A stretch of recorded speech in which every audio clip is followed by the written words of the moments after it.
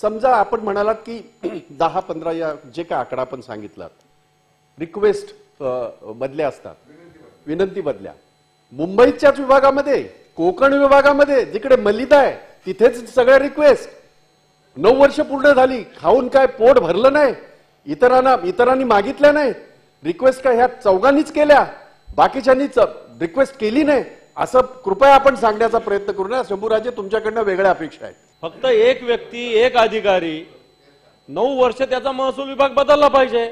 मंत्री एवढं त्या अधिकाऱ्यांची वकिली करतायत. मंत्री एवढी वकिली करतायत या अधिकाऱ्यांची.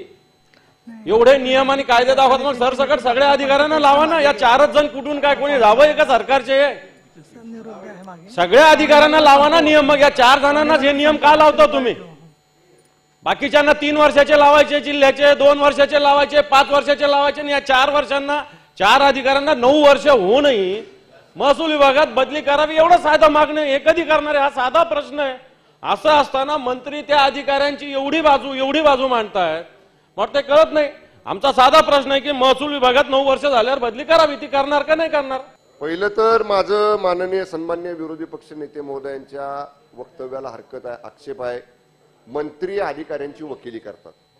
मंत्री इथं सभागृहामध्ये राज्य सरकारचा प्रतिनिधी म्हणून या ठिकाणी उत्तर देत आहे.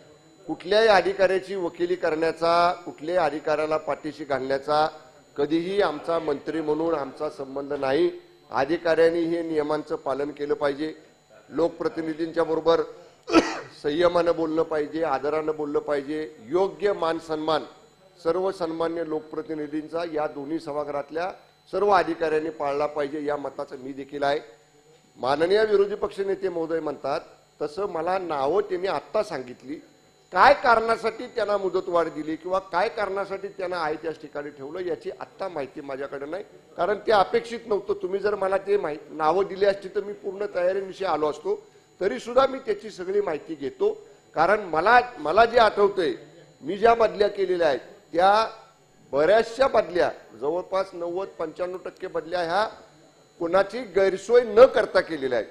त्यामुळं कुठेही तक्रारी या वर्षी जनरल ट्रान्सफर जेव्हा माझ्या विभागाच्या झाल्या तेव्हा कुठेही तक्रारी माझ्याकडे आल्या नाहीत. ज्या काही अधिकाऱ्यांच्या प्रशासकीय बदल्या करताना थोडीशी गैरसोय झाली होती ज्यांनी माझ्याकडे अपील केली किंवा ज्यांनी माझ्याकडे विनंती केली त्यांना सोय करूनच त्यांच्या बदल्यांचे ठिकाणं या ठिकाणी दिलेले आहेत. तथापि सन्मान्य विरोधी पक्ष नेते महोदय असतील सन्मान्य भाई जगताप असतील त्यांचा ज्या व्यक्तींवरती आक्षेप आहे कर्मचाऱ्यांच्या वरचे आक्षेप आहे त्यांनी त्यांची नावं आणि काय स्वरूपाचा आक्षेप आहे माझ्याकडे द्यावा माझ्या स्वतःच्या स्तरावर त्याची चौकशी केली जाईल.